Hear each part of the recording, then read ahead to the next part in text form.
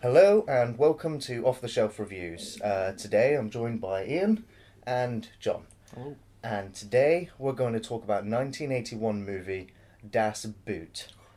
Uh, das Boot is a World War II submarine movie and uh, actually made uh, in Germany Mm. and uh, d- by director Wolfgang Petersen, who um, uh, went on to make uh, make some other great films uh, like Neverending Never Story. End story. Uh, he also made Poseidon. Poseidon, uh, Perfect Storm, Air Force One. So you know he he's got some some hits and misses in there, Yeah, and yeah. still very entertaining films. But um, this is a World War II movie, and one of the biggest differences is that it is from the German side of things. Yeah. It it doesn't necessarily follow Nazis.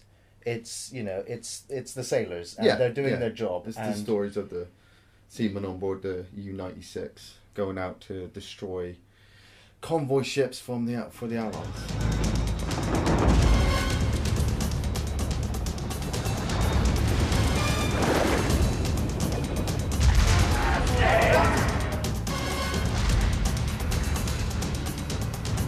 This- film, uh, second time I've watched this film, and I was worried about watching it for the second time because it, the first time watching it depressed me, and and I, I don't mean that in a bad way, but you actually live with these men on board this U boat, and it's it's a hard life, you know. From the opening sequence where you you're in the you're in the club with all these Germans and they're just drinking their sorrows away because they've got to go out and they've got to go out into the Atlantic, to the to going through the uh, going through the harbour to get to the boat, sailing out, close those hatches. That's it. You're stuck with them. Yeah. It's a very, very claustrophobic film, and it is. It's all. It's all seems like it's on one set, Mm. and it's the the camera angles just flow through the entire submarine. I want this instrument accessible. Come on, through here, Lieutenant. So wake up, you two. Your company. Good morning, Lieutenant. Morning, gentlemen. So, this is where the petty officers bunk. Sleeps 12 men. It means two guys have to share a bunk, one sleeps while the other's on duty. And so, uh, when one man comes off watch, he climbs into the other man's stink, right? One of the reasons why I think Das Boot is probably one of the greatest war movies ever made Yeah. is I mean I, I really think it's up there. It is it is that good. It's um it's the fact that when you're watching it, um you're you're not reminded that these are the Germans. They're going out to do their duty. Their their job is to go out into the Atlantic and destroy Allied convoys, and it's their story about them going out. Though half of them know that half of them don't want to go out because they might not come back alive, and they each know the reasons why they're going out there. And Jürgen Prochnow, who plays the captain, is stunning in this film.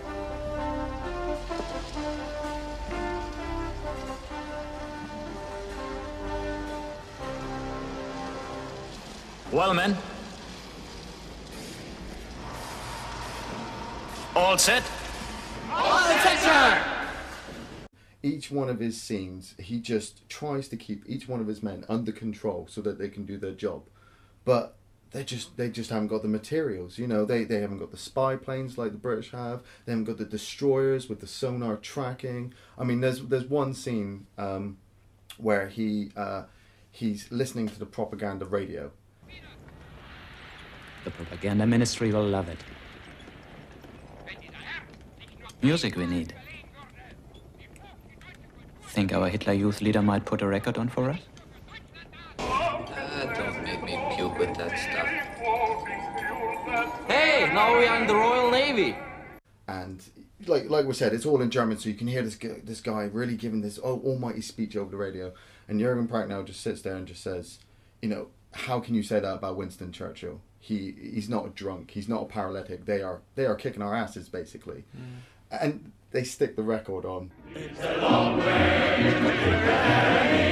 It's the long way to go. It's the long way. A simple record won't make you into the King of England, number one.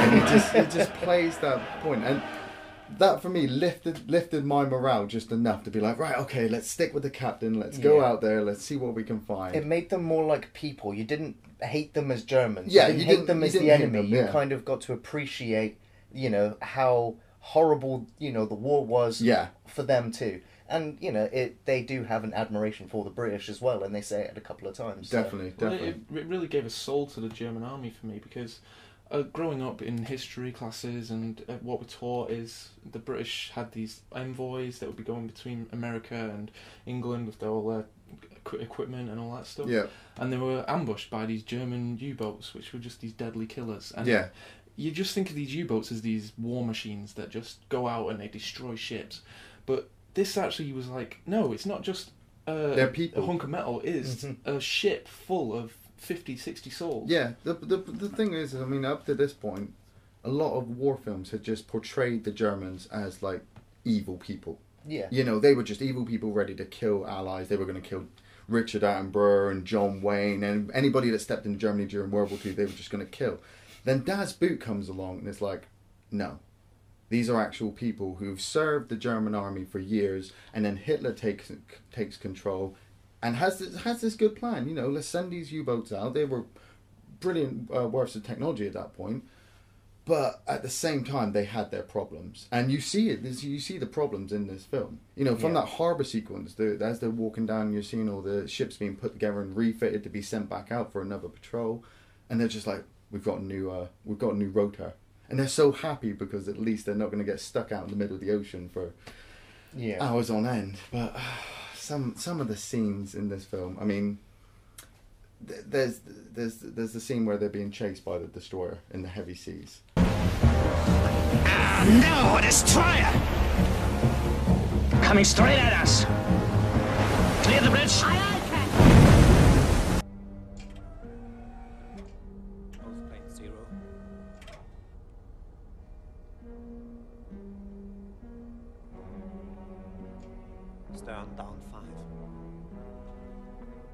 When the film wants to build up tension, Yeah. it it really really captures it because of that claustrophobic kind of tension. Yeah.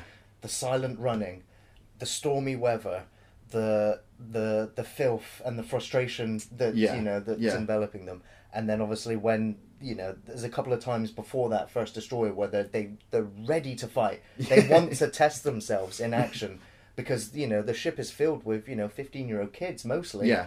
And but you know they're like we're gonna die, but we want to fight. We want to see what's fight going on. for We our want to do it. country, you know. And you know several times you know there's no engagement, and then when that uh, you know when they finally get a chance to get attacked, you know they have to turn tail, and then they're getting hit with the depth charges. Oh. And when they're sinking to try and you know get beneath the depth charges, and you cut to the shots of the submarine, and you see them explode, and you see that submarine shaking, and it cuts to the internal part. Yeah. And you see the rivets exploding. You see the crew. You see how terrified The, they the are. The sound of just, just- hearing the the thing crumple from the outside. And I cannot imagine how they must have felt in those times. I can. Yeah. You, you're in you're in a coffin. It's like Yeah. you you're getting scared blasted shitless, side yeah. to side, and this is you. There's no way out. The You're- captain you're turns around and says, Now it gets psychological, friends.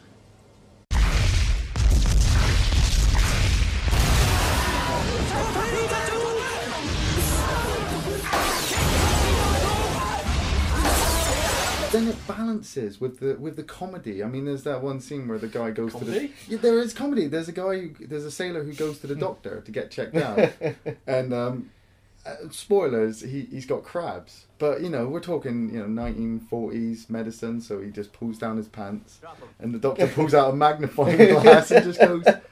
Yep, crabs, and it's, then you see six more guys all in a All line in a because line. they probably slept with the same woman.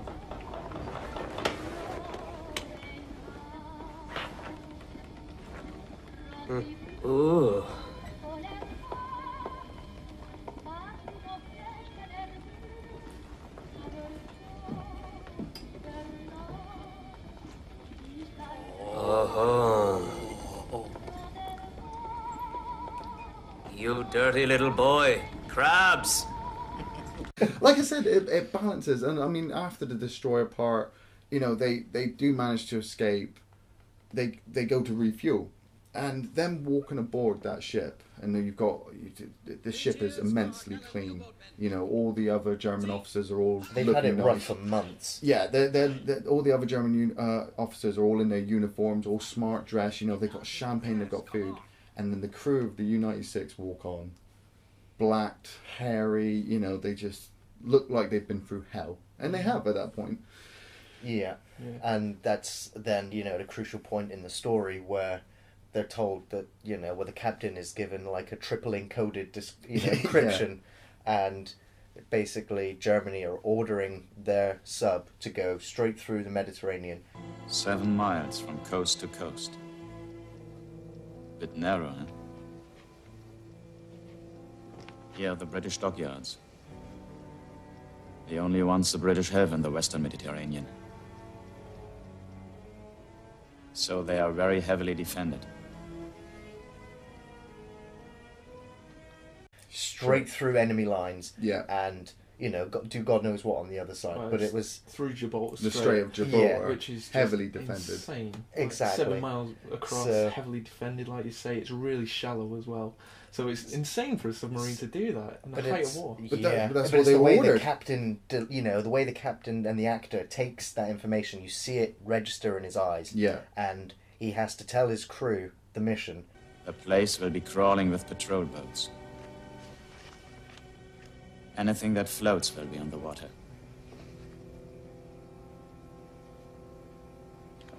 And this is where we have to go. That's the situation.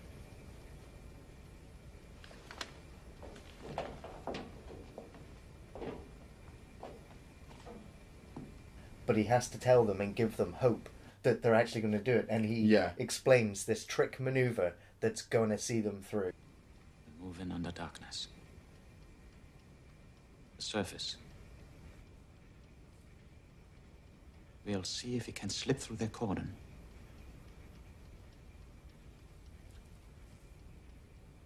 As near to Gibraltar as we can get. And let ourselves drift through. Clever trick, Captain. Obviously, it, it comes to that, that huge action sequence where, you know, there are battleships firing across the skies are dark with, you know, with fire and mortar shells. Yeah. And you watch that sub going, and uh, uh, the action sequences in Das Boot are phenomenal. Even though, I mean, even though it's an you know early '80s film, Yeah, it it's at least still stands the test of time for those action sequences. Completely agree with They, you there. they blow me away every time I watch it. I mean, you compare it to other films. You, you've got your Saving Private Ryan. I mean, I, I put Das Boot on about the same pedestal as Letters from Iwo Jima. I mean, it just tells you the other side of, of the war. You know, Yeah. they were just normal people going out to do their duty to fight fight for their country, and you know, people people were killed, but. It's- In a lot of war movies, it's the horror on the the actors' faces who they're playing. You know, realizing what they are doing to other people and what other people are going to do to them. I mean, the, the the fight sequence with the battleships and the, Yeah. the the cargo ships. You know, they hide under the water for six hours.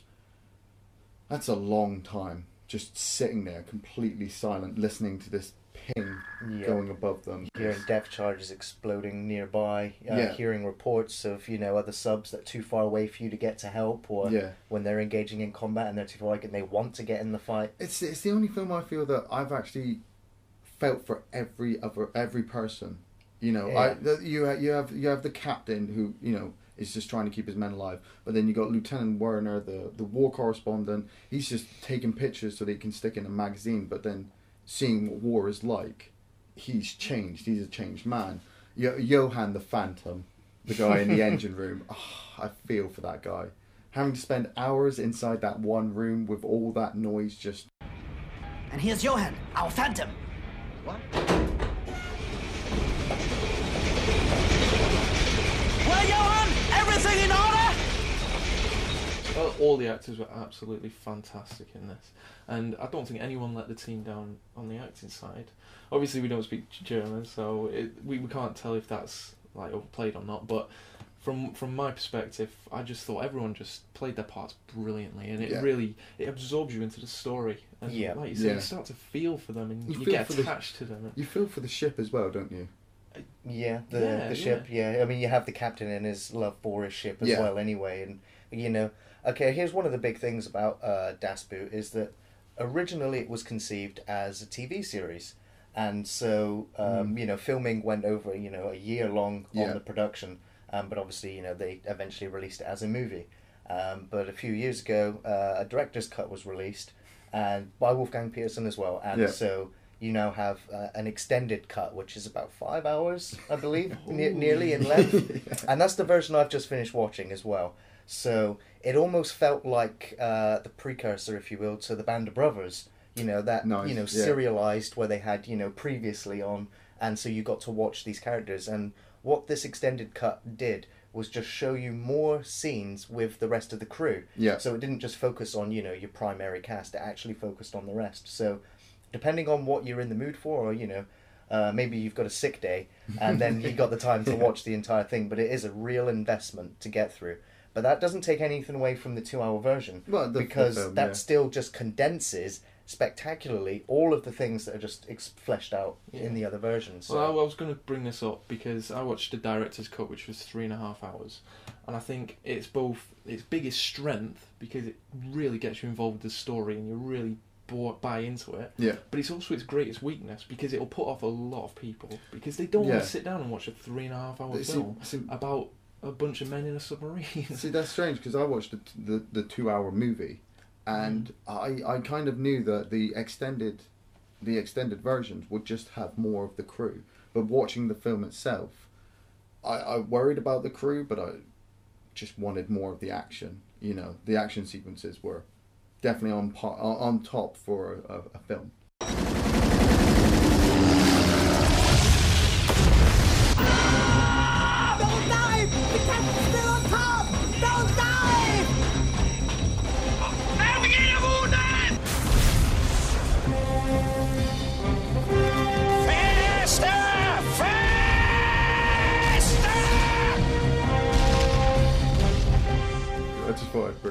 One toilet.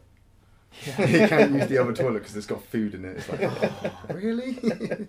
Get those bananas off that map, off that map screen. Yeah. and have you seen a sign above it? It's just a picture of an But, ass. yeah. Here we have the can. Uh-huh. Just one for 50 men.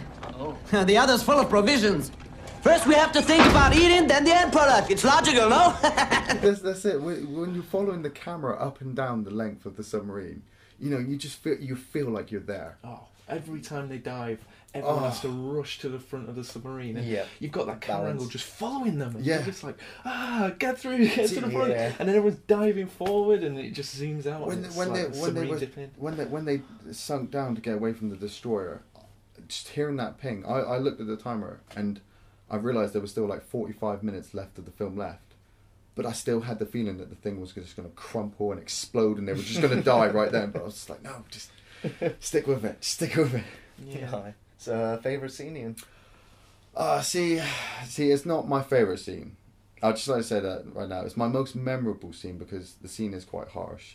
It's it's the scene where they've just come up after six hours after the battle sequence, and they're watching the fuel ship on fire, and the captain, for as an honor towards the ship, decides to fire a torpedo to break its back and to sink it.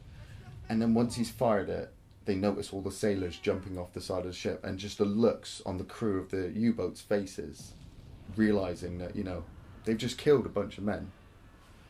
But Well, that's their duty, you know. They were frustrated as well that their allies had not come to rescue them. They were like, yeah, we've given them enough time. That's it. You know, one guy was crying, another guy, the, the Lieutenant Werner, just didn't want to take pictures. The captain's screaming at them, and you could hear the screams of the sailors to Yeah. pick them up. They're swimming towards us. Captain?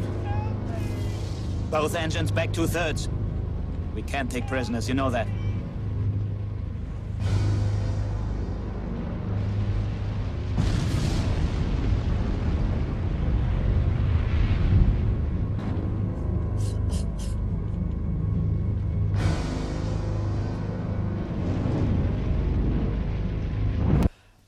Like I said, it's not my favorite scene. It's my most memorable because when I think yeah. of Das Boot now, I'll remember that scene. Yeah. Yeah, it was a really hard hitting scene. Favorite Yeah. scene, Jon? Um, I think personally, my favourite scene was uh, it was. I think it was in the middle of sort of the depth charge scene, the first one. Yeah. And um, the Phantom, he's panicking basically, um, and he wants to get off. And just the interaction between him and the captain, I just, it really hit home because I was, I, Yeah. I put myself in his shoes and I was like, I could, I, I could Yeah. actually be that guy. If I was in that submarine, I would be like, I want to get out of here. Get back to your battle station. Right now.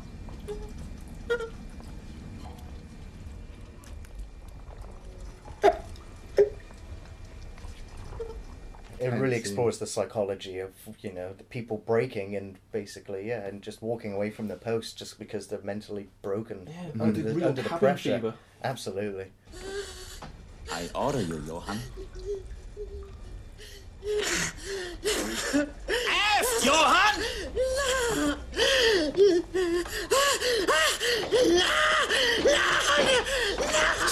Hey, boys. Put him down.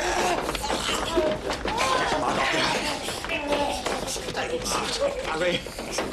uh, which leads on to actually my uh, yeah not necessarily favorite um, Yeah. but most memorable sequence is um, uh, it's it's a point in time when they are they've taken on water the sub is sinking they've taken too many hits Yeah. and they're at the bottom of the ocean near enough On the shelf. on the shelf yeah and uh, the power's out engines out you know life support's out they're on oxygen reserves and they're all um, sat around you know so you know the odd engineer is still working but most of them are just kind of sat there just just waiting just waiting to die. And it's those last few conversations um, again i'm not sure if this scene was in you know some of the Yeah, other versions um, but it's uh, where the photographer is talking to the captain and he's just like you know all this time i just uh, i don't want to die alone. Even though they're all they're all together they still all feel alone individually in what they're experiencing down there All for the fatherland, oh God. Just empty words. It's not the way they said it all, is it? I. I just want someone to be with.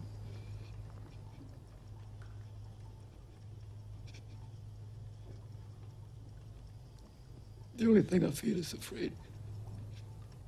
and uh, it's it's height it's a heightened moment in the film where it's just you feel that you know the fatigue Yeah. and the desperation and the determination to still get their asses out of there and uh, it's so uh, it, it's so engrossing It's like a five-hour film. You've you've been living it with them. Yeah. You watched them grow big. See, You watched them exactly. age. I and gotta put this across, You I get to mean- that stage. Yeah, uh, it's yes. Uh, I highly recommend Das Boot. It is one of the best war movies ever made, and uh, it really shows the other side of the conflict in a way that most hor- most uh, war movies, uh, d- you know, shy away from. Yeah, I mean, I, I, I, I, couldn't recommend this film enough. If you if you don't watch war movies, you, you won't you won't get Das Boot. But if you're a fan of war movies and you've seen you've seen your Saving Private Ryan, your Apocalypse Now, and you're just you want a different side, watch Das Boot. It might actually make you feel for the other for for, for the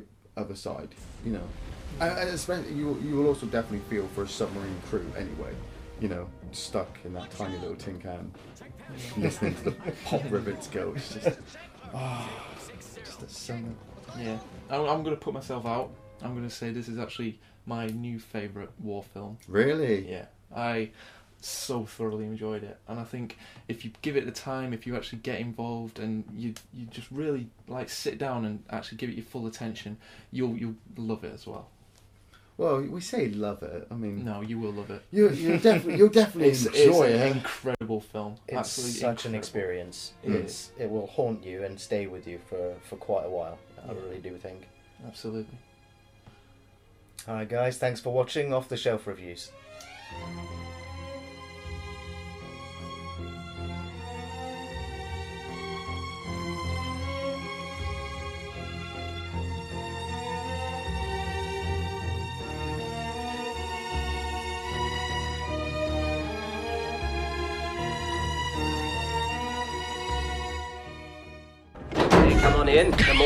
On in. The more the merrier. Crab's got you too! Oh, darling, that's divine.